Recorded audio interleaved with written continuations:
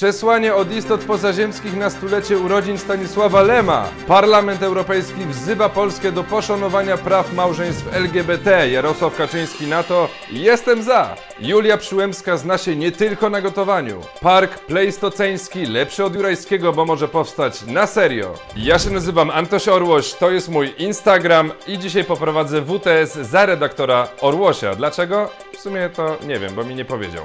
Zaczynamy. Rodzin, bo tam są Super młodzież. partia, kurwa! Super partia! Jednym z najczęstszych tematów poruszanych w powieściach i opowiadaniach Stanisława Lema były cywilizacje pozaziemskie i podróże kosmiczne. Nic w takim razie dziwnego, proszę Państwa, że z okazji stulecia jego urodzin zdecydował się przemówić ludzik z kosmosu. Specjalne przesłanie na temat polskiego genialnego pisarza science fiction z pokładu Międzynarodowej Stacji Kosmicznej nadał francuski astronauta Thomas Pesquet.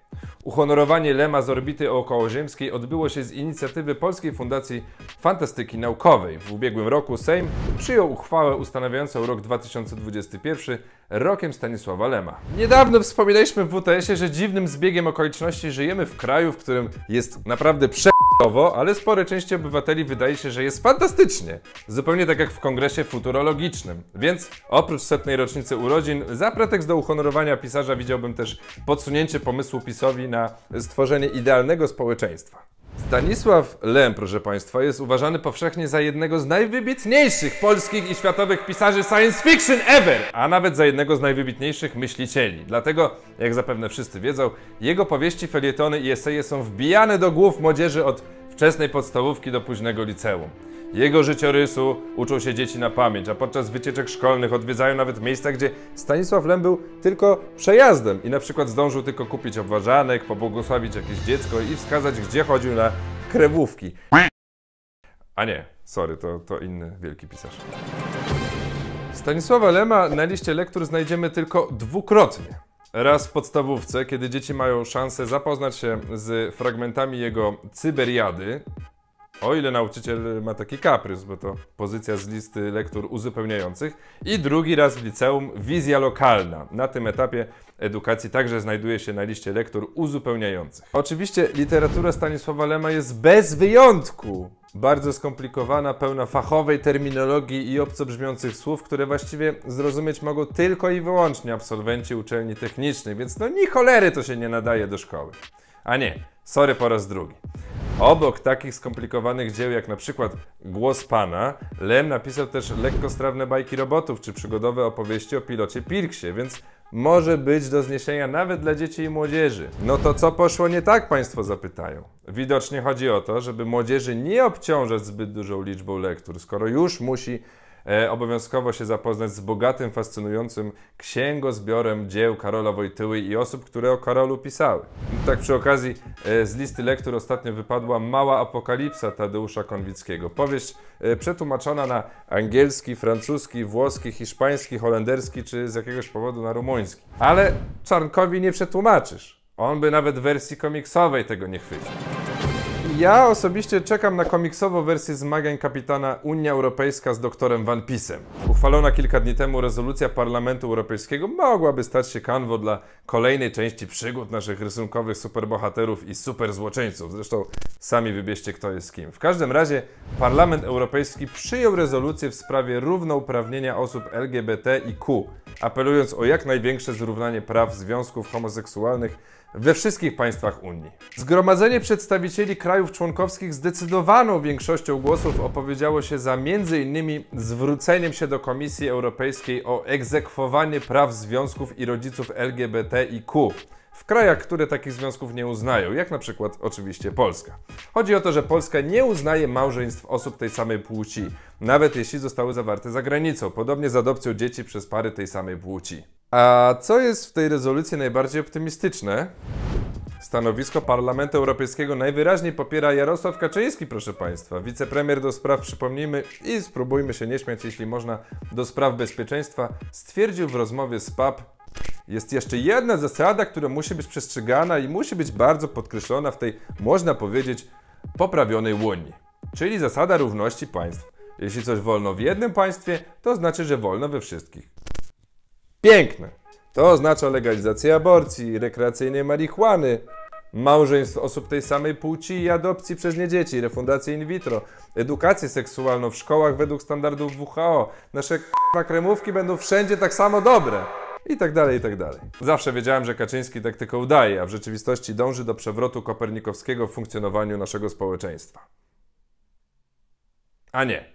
Sorry po raz trzeci. Kaczyńskiemu chodziło o to, że polscy politycy mogą decydować, kto będzie sędzią, skoro tak jest w innych państwach Unii. Wprawdzie fakt checkerzy wielokrotnie już udowadniali, że jest to manipulacja. TVN24 nawet ostatnio w trakcie transmisji konferencji Zbigniewa Ziobry zrobił pauzę, by kłamstwa ministra wyjaśnić, ale Jarosław Kaczyński pewnie TVN-u no, nie ogląda, więc w sumie skąd on biedny ma wiedzieć, jakie głupoty gada. Widzicie, na pierwszy rzut oka, czytając taką wypowiedź Kaczyńskiego, można by pomyśleć, że Julia Przyłębska ugotowała mu coś niestrawnego. E, Przypomnijmy, że niesławna prezeska Trybunału Konstytucyjnego Julii Przyłębskiej została kiedyś nazwana, czy też ochrzczona przez Kaczyńskiego jego odkryciem towarzyskim. Co zrodziło spekulacje na temat tego, że pani Julia gotuje prezesowi obiadki. No w każdym razie okazuje się, że nawet jeśli, to zna się ona też na czymś innym na doradzaniu politykom. Z kolejnych wyciekniętych maili ze skrzynki Michała Dworczyka możemy się dowiedzieć, że z Julią Przyłębską politycy konsultowali obsady stanowisk w Sądzie Najwyższym. Oczywiście nie powinni pytać o takie rzeczy, bo to nie wypada pokryjomo politykom kontaktować się z prezeską Trybunału. Ale jeśli już spytali, to ona nie powinna odpowiadać. Ja nie jestem y, pewien, ale to chyba można wyczytać z różnych zbiorów zasad etyki zawodu sędziowskiego. Istnieje jednak podejrzenie, że zdolności Przyłębskiej ograniczają się do marudzenia w trybunale, więc czytanie i pisanie już się w tym katalogu raczej nie mieści. Wracając jeszcze na sekundeczkę do Jarosława Kaczyńskiego, ma już 72 lata, tak. Wprawdzie historia zna takie przypadki, że ludzie w tym wieku się biorą za siebie, zaczynają ćwiczyć, zmieniają stylowy, ale obawiam się, że akurat w tym e, przypadku nie ma co na to liczyć. Jesteśmy skazani na satrapę, który wyglądać będzie już tylko gorzej, no taka jest prawda. Pod tym względem lepiej jest w Korei Północnej. I zaznaczam, że tylko pod tym, bo mimo wszystkich kąśliwych komentarzy pod adresem rządu, nie śmiem twierdzić, że żyjemy w rządzonym przez zbrodniarzy totalitarnym reżimie. Ale do meritum.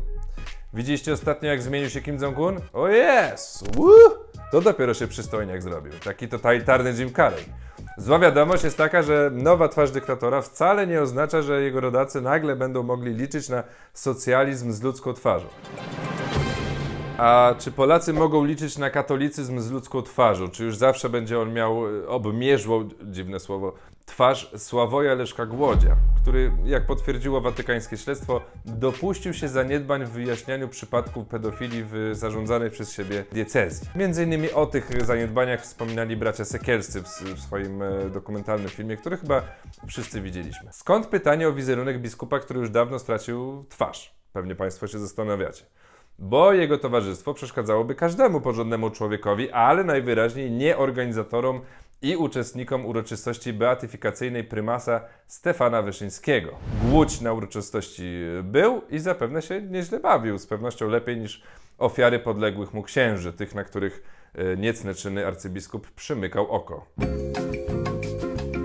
A teraz czas na Antosia Orłosia i jego kącik muzyczny. E, Witam, dziś w dziale muzycznym duet. E, Polska historia zna wybitne duety. e, Calvi i Remi, e, e, tak, e, no.